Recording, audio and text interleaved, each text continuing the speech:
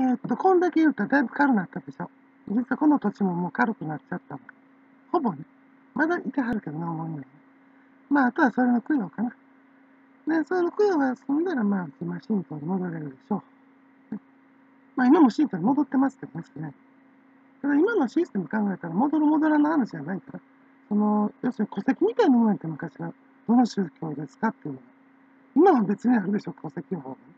うちにも一応戸籍ありますから、どの宗教に属してますかっていうのは戸籍の意味なくなって昔みたいな意味がもうなくて。どの宗教の信者ですかって昔は戸籍として機能したのってびっくりした。うん、そうなの。本当に何も知らないのね、皆様。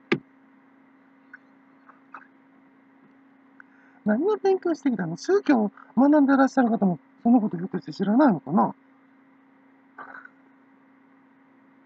宗どの宗教の信者かぐらいしか戸籍として昔は機能しなかったのよ。だって戸籍なんて奈良時代に一遍やって滑って、ほんで明治以降できただけでしょ。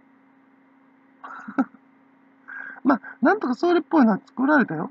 武士なら、そんな、どの信者かっていうのが戸籍じゃなかった。それはわかるよね。武士以外は、っていうか庶民の話よ。庶民はどの信者、どの宗教の信者ですかだけが戸籍やった。都市市民なんか特にそうやで。どの長屋にいるんだいなんて戸籍になる？どの販売に来てるんだいなる？じゃあ、デッチさんはどう？どこの大棚にいるんだいが戸籍になる？大地、大家さん、そこの大家さんであるからって、それが戸籍なんかなと思ったら、それすらちょっと揺らぐ世界やねんで。それ今よりは揺らがへん。今の方が地主の立場で揺らいでんの。で、大家さんちゅうても地主大家と雇われ大家もおるし。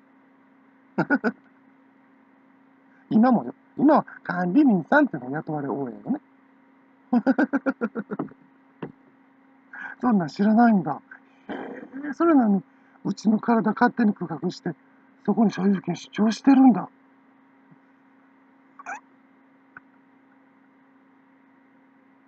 ね？そんなこんなでだんだんこの土地の波動が軽くなってきてる。軽くなったら関西みたいな本当に波動の軽い、波動の軽い土地柄になるからね。関西めっちゃ波動軽いからね。家とか沈んで見えるよ、かえって逆に。建物とか、地面にめり込んでるように見えるから、関西。関東はどうかしら。なんか地面から浮いてるように見えるよ、うちに。建物が。で、波動は重いね、その代わり。関西は波動めっちゃ軽いけど、その代わり、の民家であれ、木造であれ、ビルであれ、地面に突き刺さってるようにめり込んで。ちょっと逆。地面から生えてるように見えるビルが。ニョキニョキニョキ根っこができるね。で、木造建築は地面にめり込んでいってるように、ぐーって沈んでいってるんですよね。こっちもそうなった、そのうち。みんなね、そういうの見えるようになる。なんでかって、初めの波動が軽くなったの。理由、うちがペラってるから。あ、ペラれる、ペラ、ペラれるワールドちゃう。喋ってる。な、こういうのも供養の意思なんですわ、みたいな。まあ、まあまあ、その、個人を忍びてペラるやろ、みんな。その後、な、宴会だったとかして。あの、浄土真宗なら、葬式の後、大巨大宴会。ペラル。もうすごいで、はーみたいな、こうやってたら。はー まあ、こういったものにね、その、干渉作用があるのね、風が、あここの上にも扇風機置いてるし、ゲッあっちにも置いてるし、で、あっちからも置いてるし、そっちからも。何やってんの風の国でも作ってんの風の谷でも作ってるのえそれで、結局、その風同士の干渉作用だよね、扇風機同士の。それの音ちゃうんと思うよ、サイレンの音。もう聞こえへんかなって、ちょ、もうちょちょっとだけ奥の方にちょっと聞こえるかなって感じ。で、またそれはこういうね、干渉作用により、そういった物音が、実は聞こえやすくなるんだよ。ほんまかほな、エアコンなんて単一性のものやめて、扇風機いっぱい置くぞってやったら、ほほう、そういうことに興味があるのか、君は。もう、悩ましいわ。あああああ始まんねん。やばいから気ぃつけ。そんなんやったらまだ陶磁器集めとけ。陶磁器の方はそうに興味があるのか。ああああしまんで。気をつけなあかんで。伊藤忠。なんで三菱商事なんだよ、なんで。随分、必ずこれや。